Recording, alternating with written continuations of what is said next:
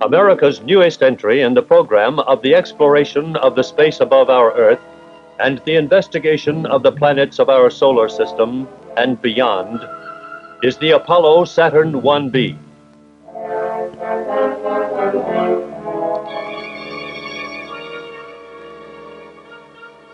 With the successful firing of this space transportation system, the National Aeronautics and Space Administration has added an intermediate space vehicle to its family of three Saturn launch vehicles. The Apollo Saturn 1B, standing over 20 stories high, will be the first Saturn to be used for manned flights. It initially will be used for practice and training for the manned lunar mission to be accomplished before the end of the 1960s with the much larger Saturn V booster. The earlier Saturn, the Saturn I, has completed its flight schedule of 10 firings, scoring an unprecedented success by proving 100% successful in all flights.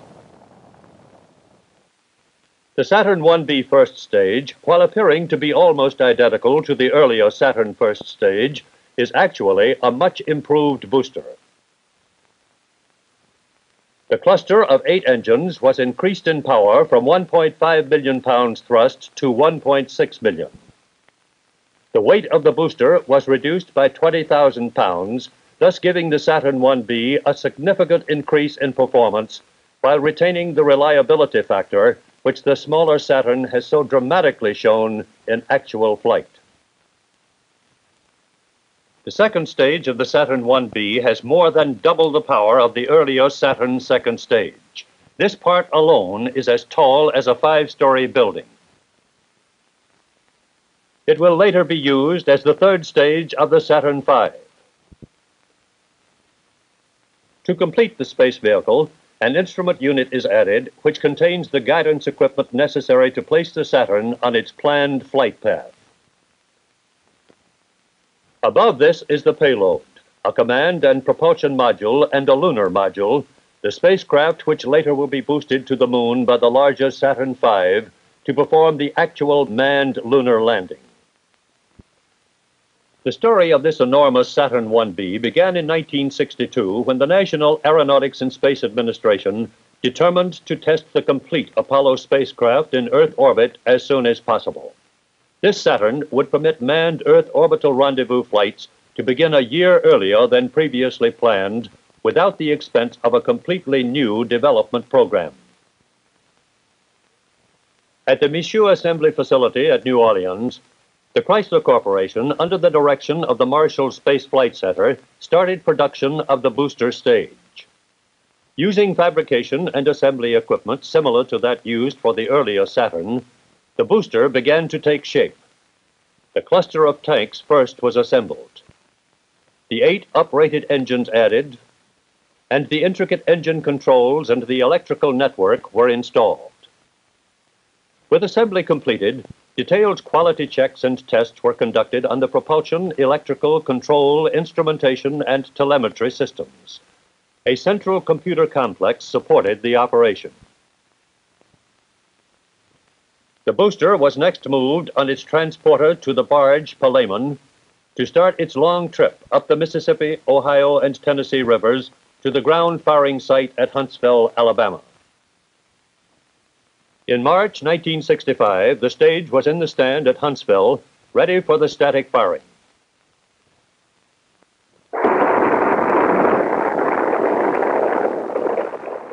It was fired first for 30 seconds then two weeks later fired for the full flight duration of two and one half minutes. Engine control was tested by gimbaling the engines during firing.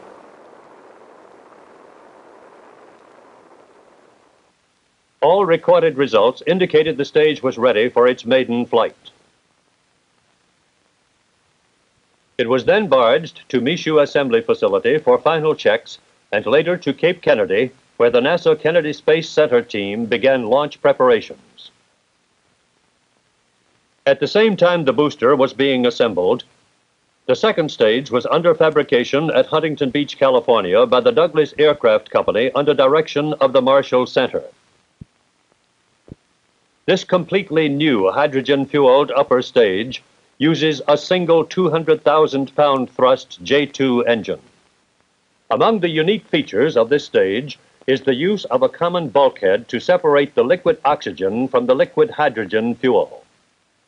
Special insulation on the bulkhead keeps the liquid oxygen from being frozen by the liquid hydrogen, which has a temperature of 423 degrees below zero. The stage was later moved to the Sacramento Test Center for its pre-flight test firing. A full duration firing of seven and one half minutes marked the first time that a fully automatic system had been used to perform a complete checkout, propellant loading, and static firing test on a space vehicle. This engine was also programmed to gimbal in simulation of the guidance commands it would receive in actual flight. After final checkout, the stage was transported by barge from California to the Kennedy Space Center where flight preparations were underway.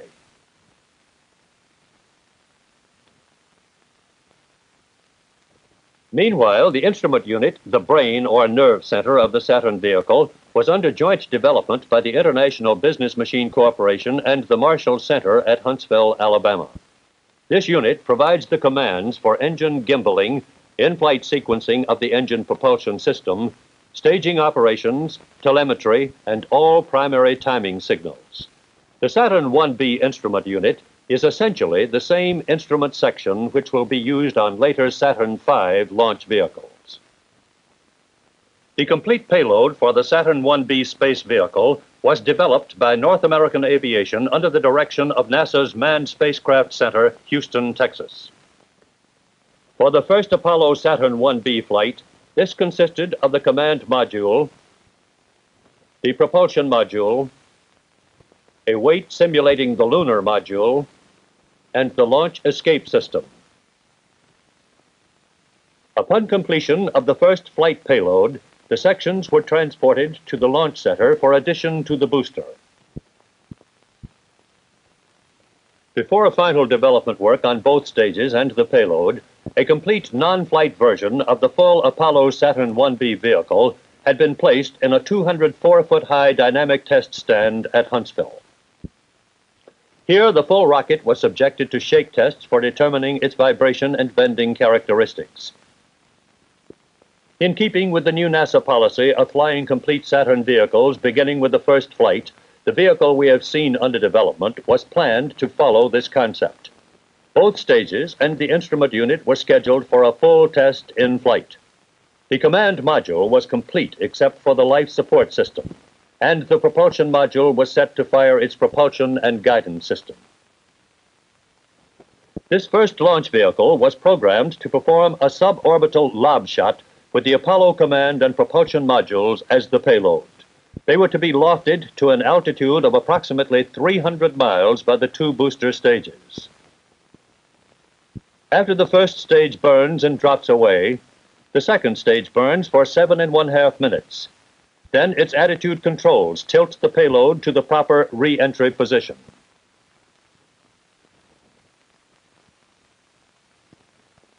This stage is kicked aside and the command and propulsion modules coast over the apex of the flight path. Small rockets fire to seat the liquid propellants and the propulsion module engine ignites to increase the re-entry speed. The engine reignites to check the restart capability and further increase the speed. Attitude rockets then turn the command module for re-entry. The propulsion module is kicked aside and the Apollo continues toward the thicker air at a speed of nearly 18,000 miles an hour.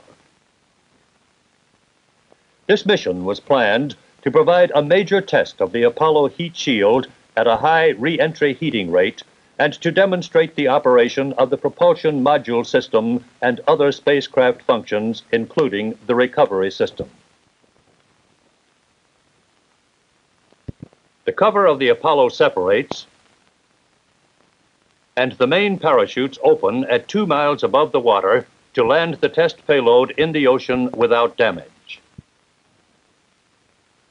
Navy ships stood ready in the recovery area with equipment to raise the capsule aboard ship for the return. Later tests would evaluate the success of the reentry maneuver. Two motion picture cameras were prepared for installation on the Saturn first stage to provide a permanent visual record of the separation sequence of the second stage from the first stage in flight. They were also set to show the operation of the liquid hydrogen fueled engine. The cameras were attached to the first stage and a system was installed to eject them at the appropriate time. Soon after ejection, spring-loaded flaps open to stabilize the cameras and to slow their descent. They re-enter the atmosphere at 7,900 miles an hour. Three miles above the ocean, a paraballoon fills with gas to expand the balloon.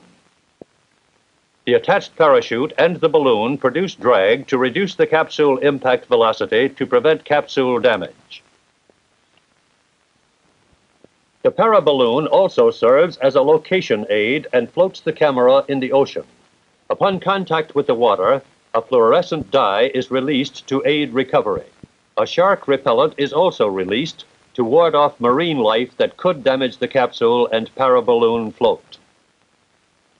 A radio beacon attached to the top of the paraballoon transmits a signal to aid recovery planes and ships in the area. The film would be returned to Huntsville, Alabama for study. As the firing time approached, 190,000 gallons of liquid oxygen, liquid hydrogen, and kerosene were poured into the tanks. The countdown proceeded toward the moment of ignition. The firing team made final checks and evaluations. A successful firing would mean that the United States Apollo Saturn program for the conquest of the moon and beyond was proceeding as planned. Five, four, three, two, one, ignition. The Apollo Saturn 1B lifted slowly at first, then doubled and redoubled its speed.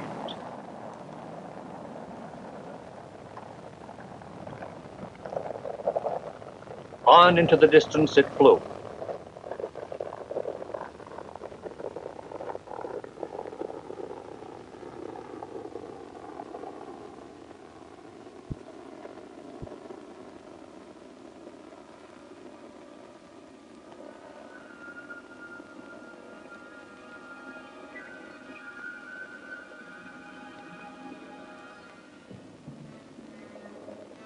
The first stage completed its mission.